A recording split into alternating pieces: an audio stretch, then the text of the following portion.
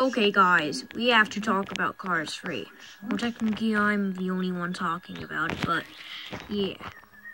Anyways, why is Cars 3 gonna be so dark? How's it dark? No, not like in Four Room dark, but like Lions, I guess? By uh, destroying Lightning McQueen. But we know, know that the cars will have faces, even though Betrayer didn't sew any of their faces in the Betrayer. But how do we know? Because of this, here, right here.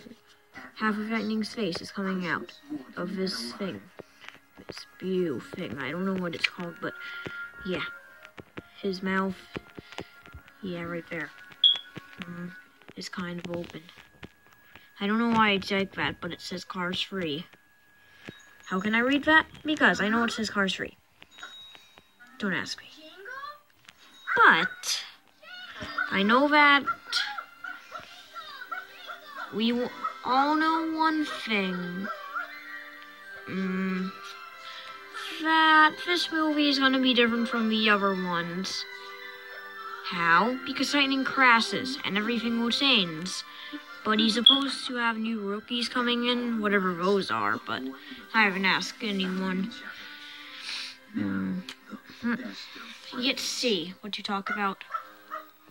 Well, he will get obviously fixed after the crash, and it will probably take place somewhere near the beginning of the movie because it can't be at the end, obviously, but how does lightning crash?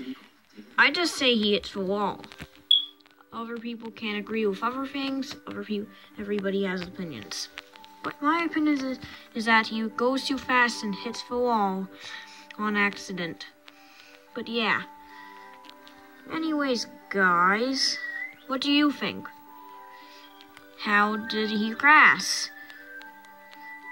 And everything I talk else I talked about in this video. Will this pic will this thing be part of a movie? Probably not much, but yeah. And how do you think Lightning McQueen is gonna be fixed? Or even rescued after it crashes? Or anything? We'll have to see until the movie comes out on June 16th, 2017. So yeah, guys, if you enjoyed this video, why not give it a thumbs up and subscribe? And I'll see you next time. Bye!